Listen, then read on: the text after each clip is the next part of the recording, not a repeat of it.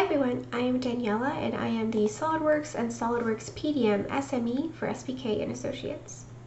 Today I'll be going over how to generally diagnose slow performance uh, with SOLIDWORKS.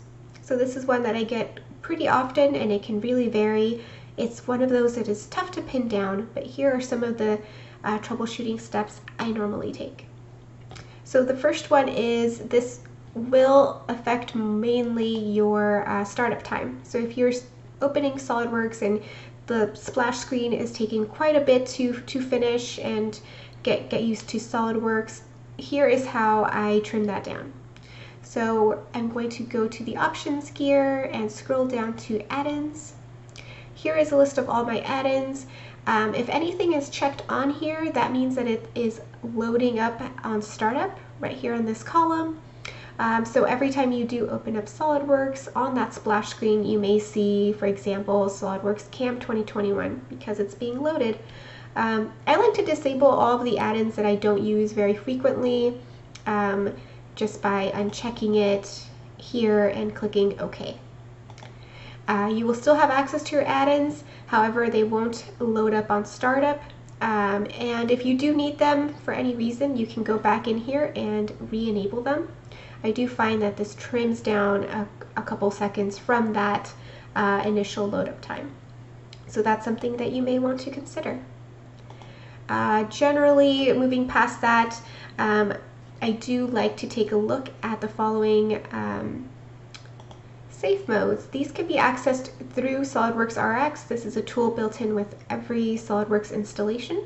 So if you search for it on your toolbar, your taskbar, you should be able to find SOLIDWORKS RX.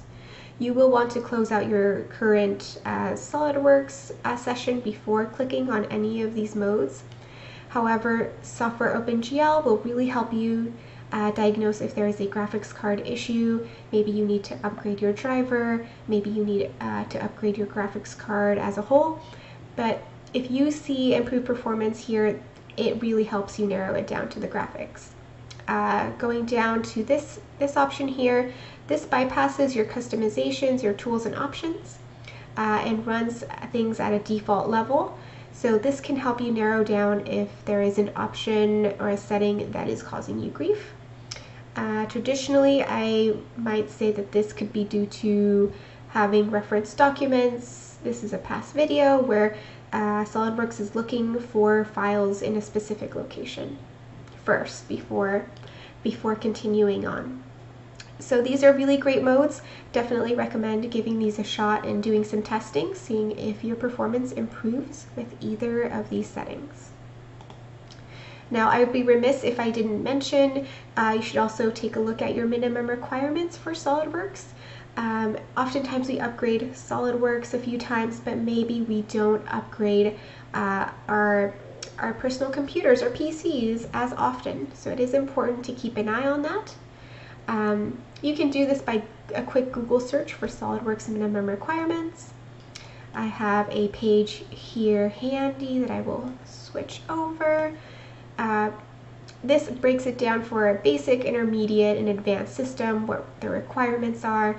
I would really pay attention to your CPU and your memory um, in this instance.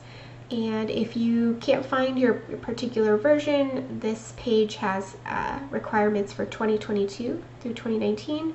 Uh, feel free to reach out to your value-added reseller. They should be able to guide you um, on what those minimum prereqs are. And finally, one of the things that I do know can impact uh, performance quite a bit is using local network shares. Uh, this one's just a tricky one to work around, but a quick test is to drag those files from your network share over to your desktop, see how that performance improves. It usually will improve. Um, and going from there, unfortunately, that is a variable that is very common and can cause some latency within SOLIDWORKS. So that is something that I recommend. Um, workarounds for that one are a bit tricky. You do have PDM as an option, PDM Pro or Standard, uh, working locally, which may or may not uh, be possible in the long term, depending on how your company is set up and if you coordinate with others uh, on files. But typically, these are the heavy hitters when it comes to diagnosing slow SOLIDWORKS performance. For more SOLIDWORKS tips and tricks, please stay tuned.